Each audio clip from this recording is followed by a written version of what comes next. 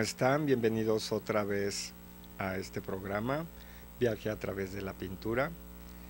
Y estamos otra vez aquí para ver, continuar viendo la obra de Paul Cézanne. Nada más para recapitular un poco, les quiero platicar que él vivió durante la segunda mitad del siglo XIX, que fue un siglo lleno de inventos, en ese siglo fue que se inventó la fotografía, se inventó el cine, se inventó el teléfono, el, foco de luz incandescente, los primeros automóviles de combustión interna. Fue un año de, digo un siglo, no un año, un siglo de muchísimos inventos que se vieron reflejados en la pintura porque hubo varias corrientes, hubo varios pintores que innovaron completamente el, arte. Tuvimos a, Van Gogh, tuvimos a, definitivamente a Paul Cézanne y a muchos otros. De Paul Cézanne, si quieren volverle a poner la foto para que nos acordemos cómo se veía ya de grande, este, él es francés, nació en 1839 y murió en 1906 y fue de una familia acomodada, mm, parece ser que nunca tuvo problemas económicos, por lo que pudo dedicarse más a su obra, no tuvo la, las presiones de poder subsistir, pero sin embargo tuvo presiones muy fuertes porque él quería trascender y le costó muchísimo trabajo porque la crítica, los compradores, todo el mundo estaba en contra de él. Él empezó a estudiar pintura ya de lleno a los 18 años, a los 23 ya se dedicó completamente a su obra y fue hasta los 50 años que la crítica empezó a hablar bien de él. Imagínense cuántos años trabajando y trabajando y nunca tener un comentario agradable de su obra. Aquí está ya Paul Cézanne y en la parte de, atrás es una de sus obras famosísimas que se llaman Las Bañistas. Pero aquí se ve tranquilo, dicen que era muy, muy huraño y realmente pocos años antes de su muerte fue que ya todo mundo lo, alababa, lo valoraba, lo, lo, consideraban un genio, pero fue muy pocos años antes de su muerte. Hoy vamos a empezar con, el, con la pintura Manzanas y Naranjas. Si no las ponen, por favor. No, no, esa es otra. Esas no son manzanas. ahí va, ahí va. Bueno, si quieres el, que salga, a ver, es esa, esa. Aquí está ya. Que la última vez vimos que sus naturalezas muertas fueron muy representativas de él. Incluso tuvimos la fortuna el año pasado cuando mandaron este, cuadros de la Orangerie de París al Museo de Dolores Olmedo, vino uno de estos cuadros. No, es increíble poderlo ver en, vivo y a todo color. Bueno, aquí seguimos viendo lo de sus diferentes planos. La mesa parece que está inclinada hacia la izquierda, como si le hubieran cortado las patas y como que van a venir todas las, las frutas hacia ese lado, pero se quedan quietas. El platón donde están las manzanas también está inclinado al parejo de la, de la mesa, pero al mismo tiempo está inclinado hacia el espectador. O sea, fue un juego de, de perspectiva muy, muy notable. El frutero redondo también está como todo chueco, pero se ve bien la jarra también está inclinada. O sea, es aquí ya completamente desinhibido, nos está poniendo sin ningún problema distintos planos.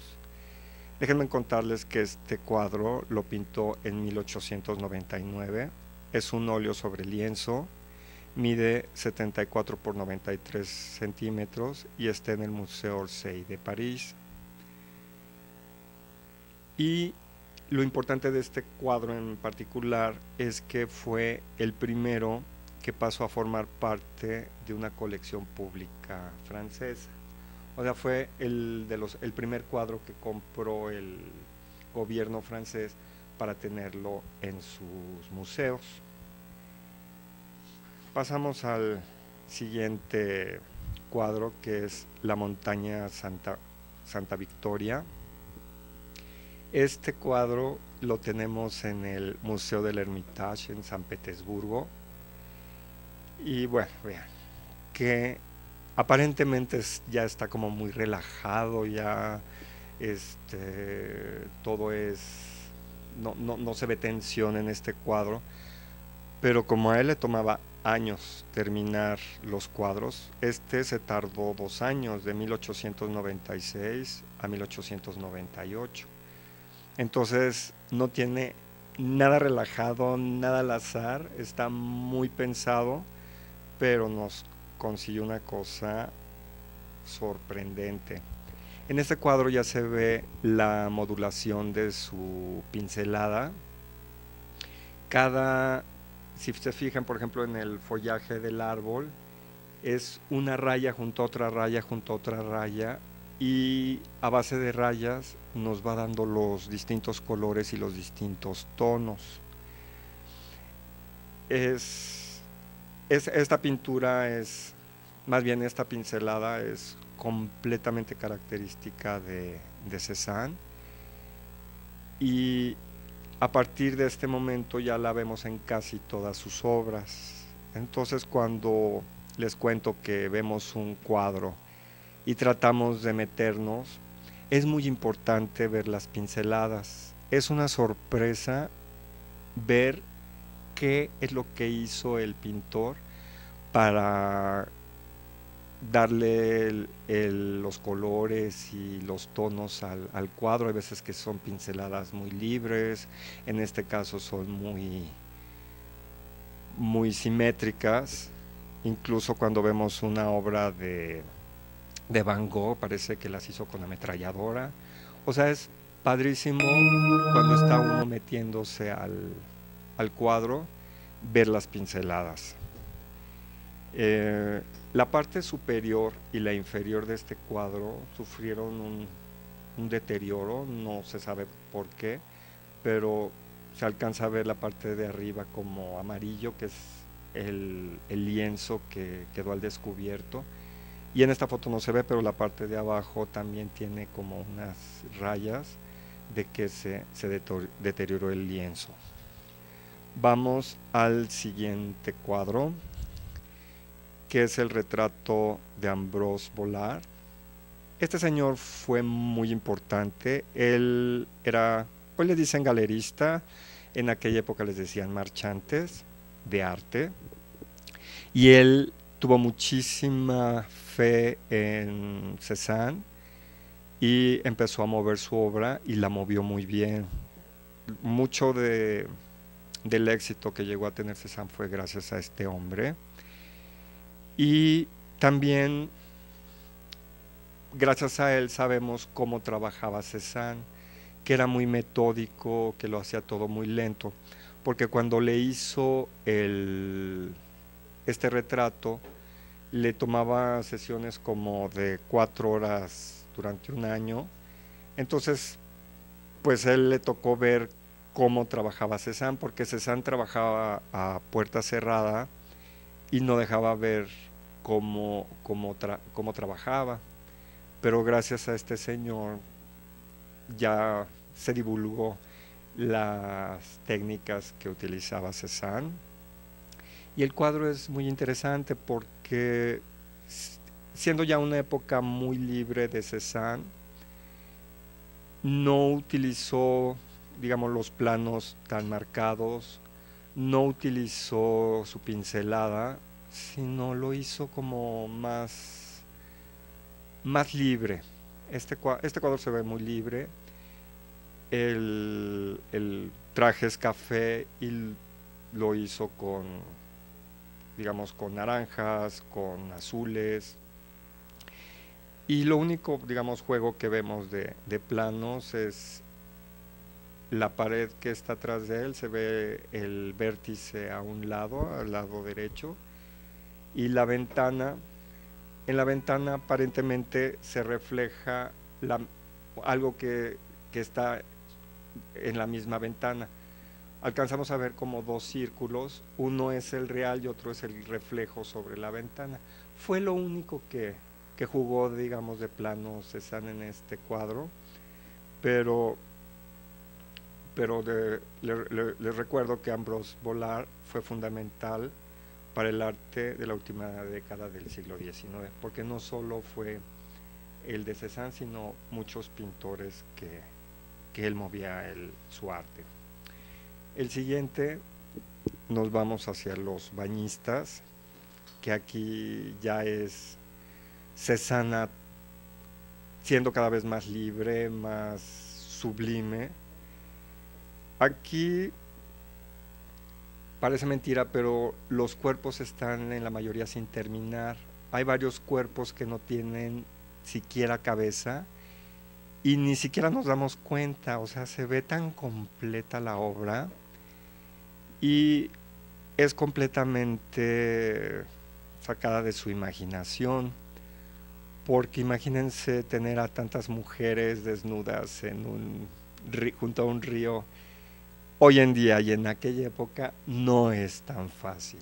Y él se las imaginó, las puso y nos regaló con una serie de tonos, de colores, de pinceladas.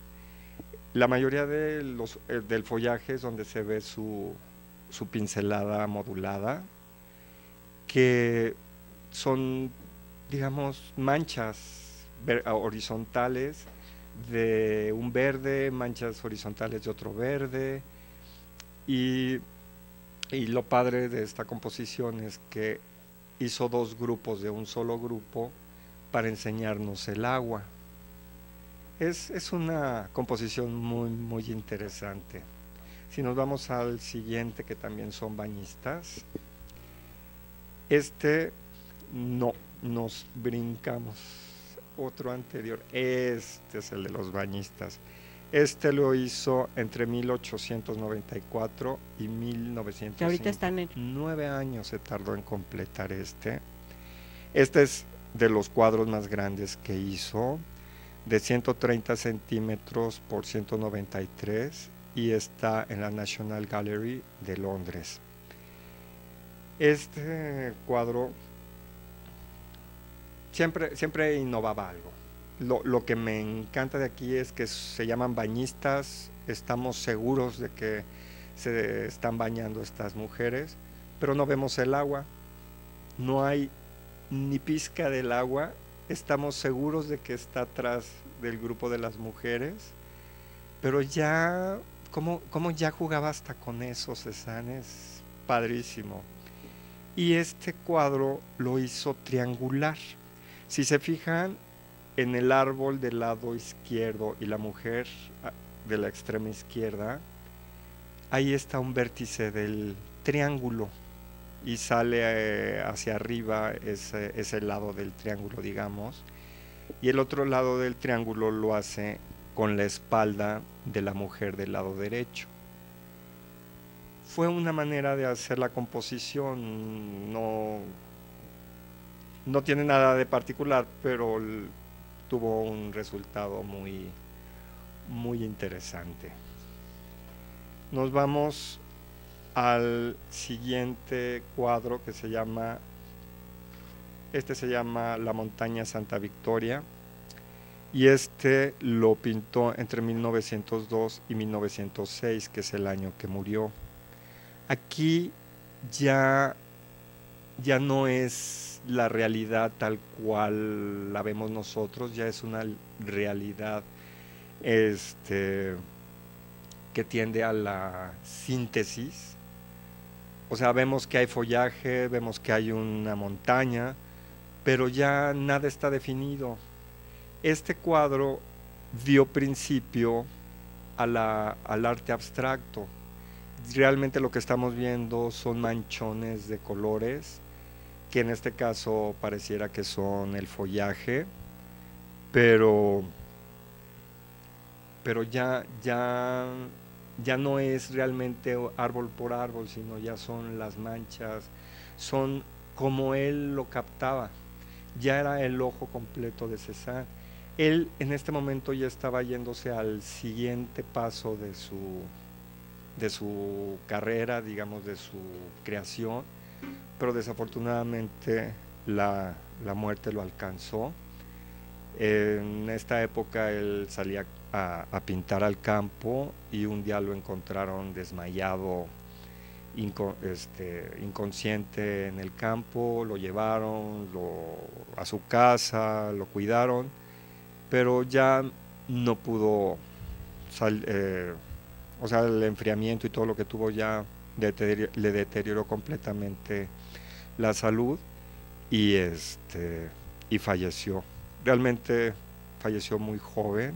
Hoy en día la mayoría de, de, la gente vive hasta 90 años y se nos fue a los 67. Yo digo que fue muy joven. Y nos dejó un legado sorprendente en cuanto a planos y en este momento en cuanto a síntesis. Da tiempo de una más, que esta era un poco anterior a, a la de la montaña de Santa Victoria. Se llama Rocas junto a las grutas. Esta la hizo hacia 1904. Pero aquí vemos que ya no detalla nada, ya son su pincelada libre por todos lados, no enfatiza nada en especial, pero simplemente con colores vamos viendo cuáles son las rocas, vamos viendo cuáles son el follaje, incluso alcanzamos a ver el cielo. Ya era una exquisitez su pintura realmente de aquellas, pero desafortunadamente no pudo seguir ya trabajando en, esta beta. Este, pues ay disculpen, pues les doy las gracias, espero que hayan disfrutado igual que yo, pues recorrer la obra de Paul Cézanne y pues aprendimos algo, aprendimos de su pincelada y aprendimos de sus cambios de plano. Que estén muy bien, hasta luego.